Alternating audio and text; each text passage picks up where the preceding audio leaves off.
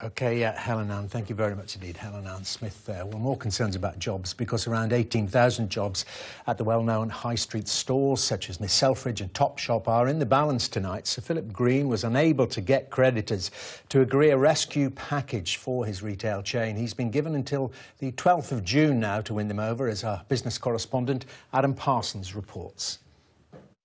Here's Sir Philip Green, the man behind Topshop, Top Man and all the other Arcadia brands.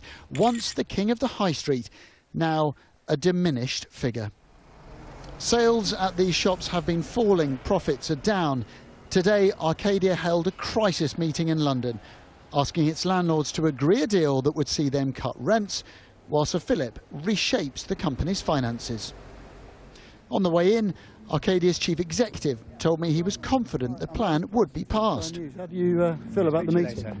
What are you? Confident. You feeling confident? Hopefully, hopefully.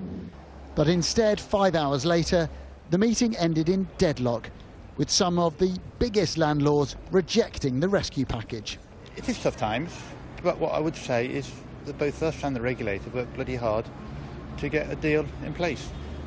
There'll be another meeting in a week to try to get this deal agreed. Arcadia has 566 stores in the UK and Ireland, but under Sir Philip's proposal, three of them would close. The plan would also see rents cut by up to 70% in 194 stores. A further 25 shops will be shut under separate insolvency proceedings. And Arcadia will close 11 top shops in the US. In addition, Sir Philip has agreed to put £175 million into the company's pension fund.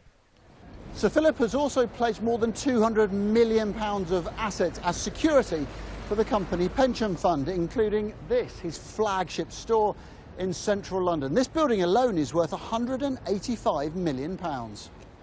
But all that was not enough to persuade some of the country's biggest landowners who refused to accept lower rents. The onus is very much uh, on the Arcadia Group to go away and reflect on what they've heard today and what they've heard from landlords and to come back and rethink with a viable, credible rescue plan.